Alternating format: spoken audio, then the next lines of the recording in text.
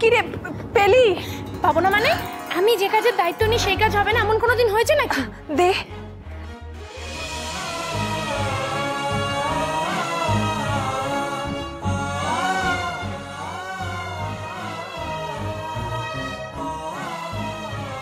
দি ভাই বল শোন মাত্র কিছুক্ষণের জন্য পাওয়া গেছে। আর এই আংটি রহস্যে আমার সাথে কিন্তু আমার পার্টনারও ছিল। তারও কিন্তু সমান কৃতিত্ব। এই যে আদিদেব মৈত্রের কাছ থেকে আংটিটা ম্যানেজ করাতে।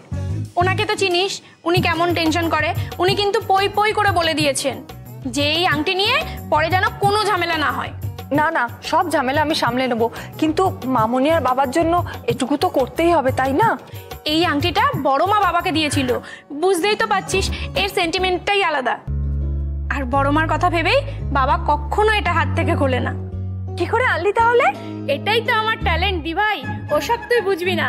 এর জন্য চাই আলাদা মাথা। সেই মাথা খাটিয়ে বাবার মাথা ধরা কমানোর টোটকা দিয়ে বাবার থেকে আংটিটা এনে আমি তোকে দিলাম। এবার কিন্তু বাকি কাজটা তোর হাতে। Thank you Priti. বাট বল না কীভাবে নিলি? থোড়ি নিয়েছি। জাস্ট চুরি করেছি বুঝলি? চুরি করেছি। চুরি? সে মস্ত গল্প। বললাম না? মাথা খাটিয়ে মাথা ধরার টোটকা দিয়ে আংটিটা বাগিয়ে এনেছি। পরে তোকে আমি সব ডিটেলে বলব। শুনে তুই হাসতে হাসতে মরে যাবি। কিন্তু এখন তুই আগে যা চটপট গিয়ে মাপটা নিয়ে আয় দেখি। মাপ নিয়ে এসে তুই আবার আমার হাতে দিবি আমি আবার যথাস্থানে পাচার করে দেবো। আমি যাই। আরে দাঁড়া দাঁড়া দাঁড়া দাঁড়া দাঁড়া। তাহলে মায়ের থেকে টাকাটা নিয়ে আসি। শুধু তো আংটি না সাথে ড্রেসেরও তো খরচ আছে। প্রীতি এমন কথা বলিস না। বাবা মায়ের বিবাহ বার্ষিকী আর ওদের থেকে টাকা নিয়ে জিনিস কিনবো? আমার কাছে আছে রে তাতেই হয়ে যাবে। তুই এত ভাবিস না। সে তুই এখন বড় চাকুরে। আমার ভাবতে বয়েই গেছে।